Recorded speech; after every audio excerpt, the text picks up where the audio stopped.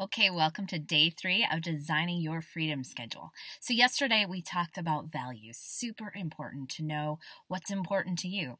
Now we're going to look at how those things actually play out in your day to day by looking at your life roles. So, we all have so many different life roles that we play. For instance, I'm a mom, I'm a wife, I'm a sister, I'm a daughter, I am the leader of a Bible study. I am the wife of a pastor. Um, that we have tons of different roles that we play.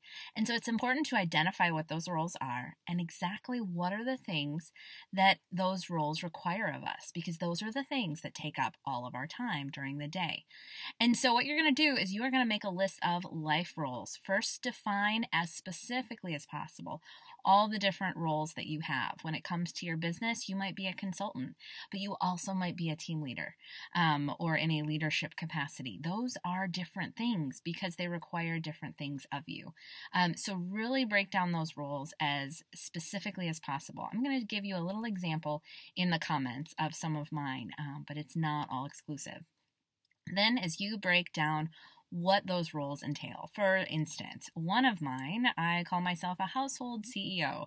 Um, there are tons of things that occupy my time um, in my own home. Everything from doing laundry to doing the cat box to being our meal planner and our personal chef.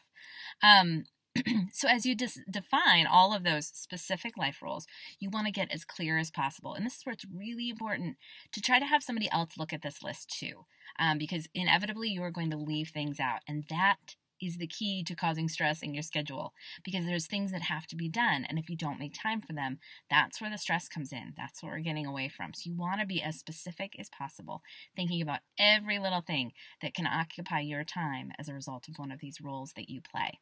So then, as you go through and you've got your really detailed list of roles, I want you to go back. And as we did on day one, we made that thrive and survive column.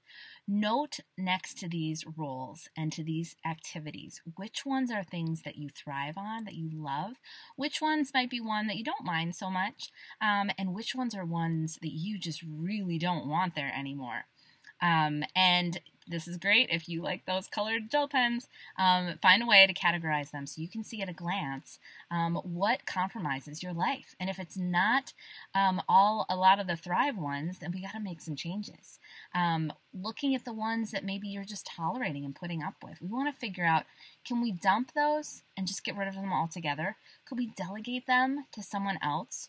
Or can we defer them? Do they don't have maybe they don't have to be done as regularly as we've been doing them?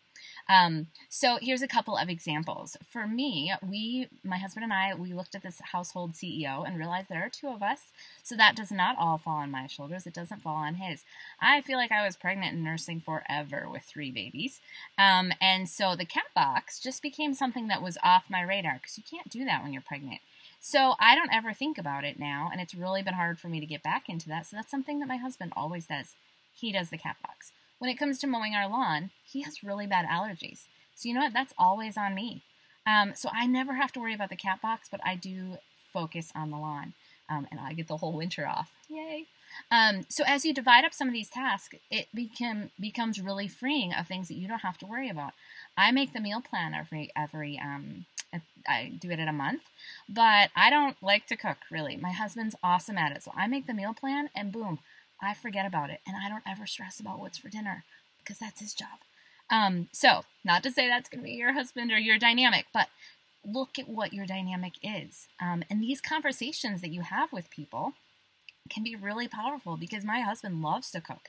It's a huge stressor on him to plan um, and so we are actually finding more joy and fulfillment in our relationship because we're each doing things that we love. Now that my kids are getting a little bit older, maybe you have young kids and they can't help out as much, but what are the things that they can do? And as they get older, dinner cleanup time is now a family activity for us, um, which falls on me. I'm the cleanup. Um, but I do it with my girls, and my husband gets quality time with our son because he's just a little too little right now to help out with that. Um, so as you look at all of these specifics, this is where it's really important to go through them with someone, um, with your family, whoever is in your immediate, um, day to day that you spend time with? Um, who can you delegate this stuff to? Um, maybe there's things you're going to hire out. Maybe you hate the lawn and you want to hire someone to mow it, um, you know, for 10 bucks an hour. What Think of the value you're going to get back and freeing up that time in your schedule.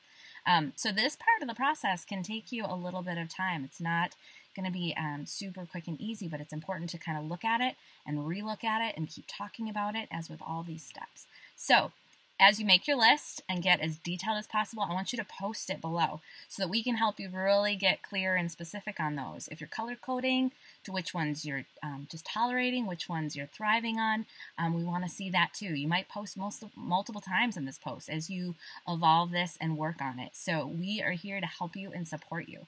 So can't wait to see what you come up with. Can't wait for you to watch what other people come up with because they may trigger something in you that um, could add to the more specificness of your list. So, awesome day ahead of you. Good luck.